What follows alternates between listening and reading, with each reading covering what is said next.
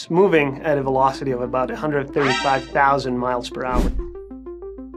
3I Atlas was discovered on July 1st and it was first detected as a speck of light moving relative to background stars. And so it came from outside the solar system, it's gonna make a pass, visit us, and then move on its way out and leave the solar system in the future. From images, we also saw that this object is active. Around the nucleus, there is some coma, which is an indication that this object is in fact a comet.